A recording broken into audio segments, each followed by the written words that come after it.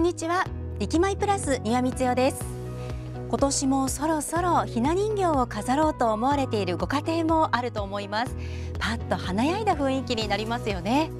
ひな人形で春を呼び込みましょう。さあ今回はご覧の項目をお伝えします。まずはニュース蟹市の出来事です。今回で9回目を迎えたキッチンカーグランプリ in 岐阜ワールドローズガーデン。今年は初となる4週連続で開催しました。1週目はビーフ部門で1月6日、7日、8日に開催。2週目は13、14日でポーク部門。3週目は20日、21日。雨の中でしたがチキン部門を開催。そして最終週は27日と28日にシーフード中華部門とトータル9日間開催されました。来場者が気に入ったキッチンカーに投票し最も投票が多かったキッチンカーがグランプリに輝きます。参加したキッチンカーは4部門で延べ140台。来場者数は9日間でおよそ5万人でした。来場者たちは寒い中でしたがキッチンカーグルメを楽しんでいました。第39回蟹市花いっぱい運動ポスターコンクールは令和5年11月24日まで募集を行い幼稚園児から中学校の生徒まで合計274点の作品の応募がありました。審査の結果会長賞や市長賞など20点の作品が選ばれました。これらの作品は市ホームページでご覧いただけます。さあ続いてはプラスの視点です。荒川豊蔵資料館が市に寄贈され再オープンしてから10周年を迎えました。現在荒川豊蔵資料館では10周年を記念した特別展が開催されています。2013年10月荒川豊蔵資料館が再オープンしました。人間国宝荒川豊蔵の作品をはじめ豊蔵が収集した作品や資料など所蔵品はおよそ1800点に及びます。また資料館の敷地内にある荒川豊蔵が生前住んでいた家や作刀場なども整備が進み来場者が見学できるようになりました。現在荒川豊蔵資料館では再オープン10周年を記念した特別展の第2弾「豊蔵の逸話いろいろ」と題した企画展が開催されています。どのような展示なのでしょうか？学芸員の加藤さんに聞きました。豊蔵が残したこれらの収蔵品の中から豊蔵との逸話が残る品々を紹介しています。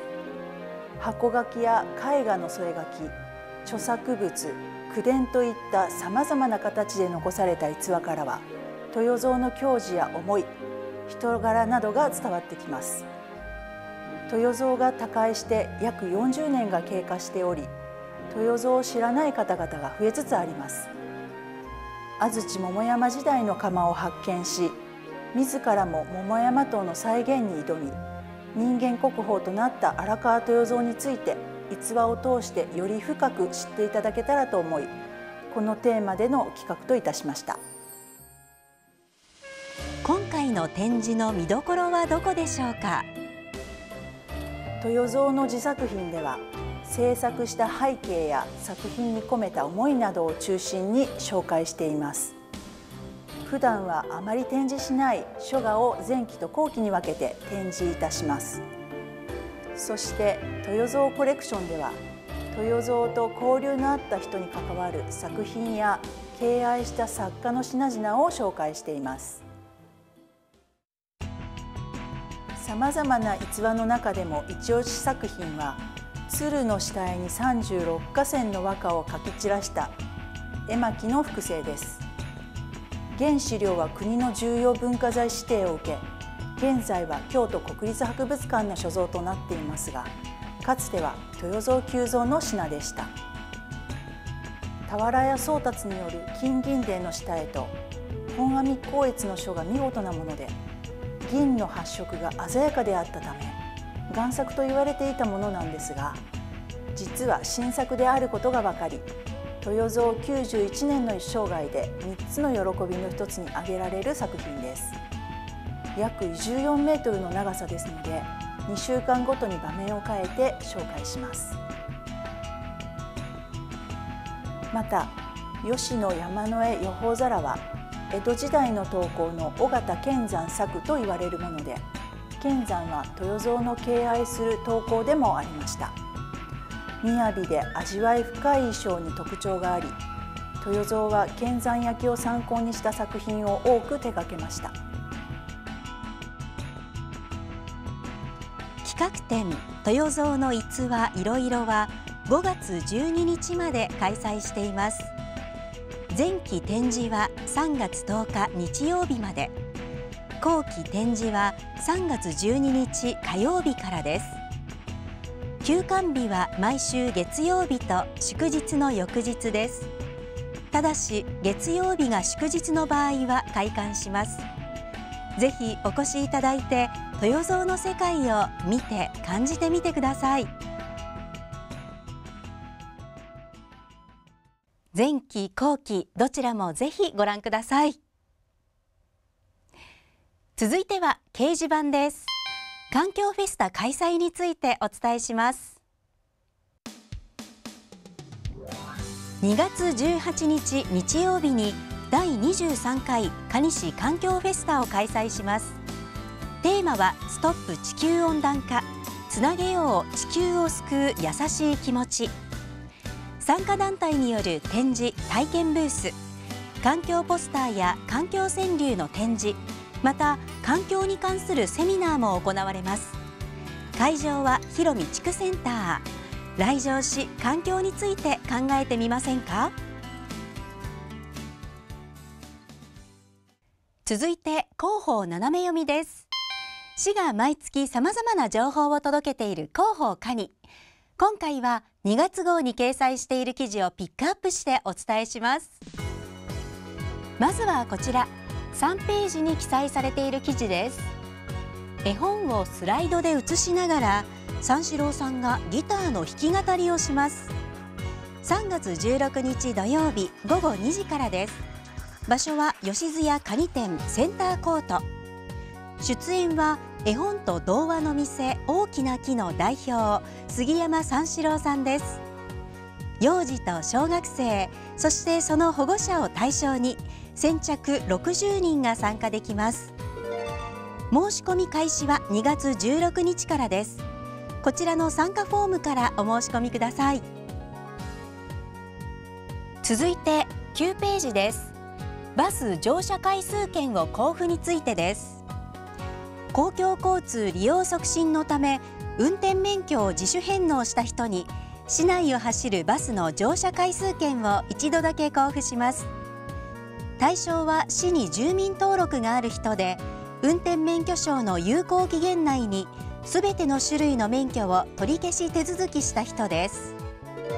申請期限は取り消し日から6ヶ月以内となりますのでお気をつけください。次は6ページ。国民健康保険産前産後期間の保険税を軽減についてです。蟹市国民健康保険に加入中で出産した人の保険税を軽減する制度が始まりました。対象は出産日が令和5年11月1日以降の人です。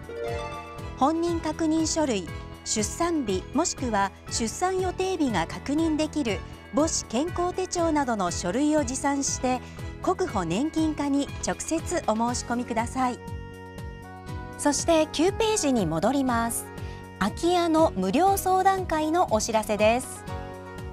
空き家の管理活用解体などの困りごとについて相談できます。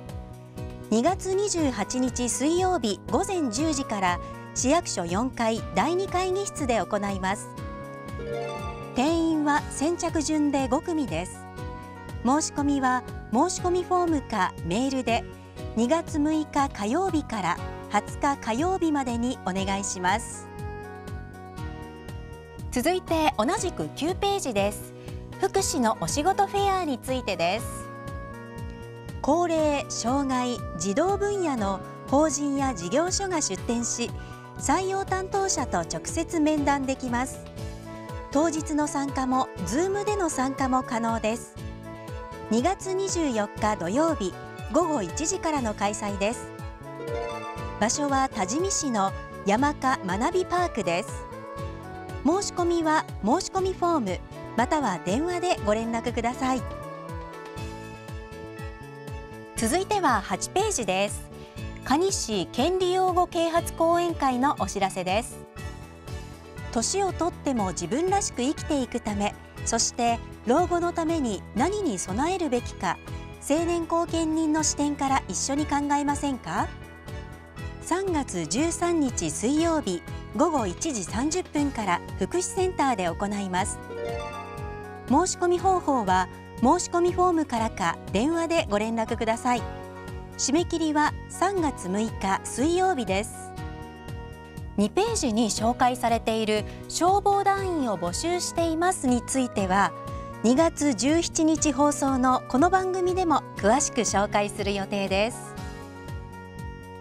広報カニが手元にないという人は市役所各地区センターなどにありますのでぜひ一度手に取ってみてください。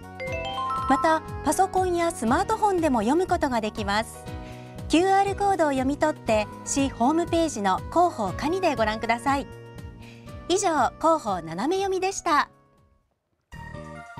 偽電話詐欺の被害を防ぎましょう。多発している偽電話詐欺被害を防止する3つの言葉です。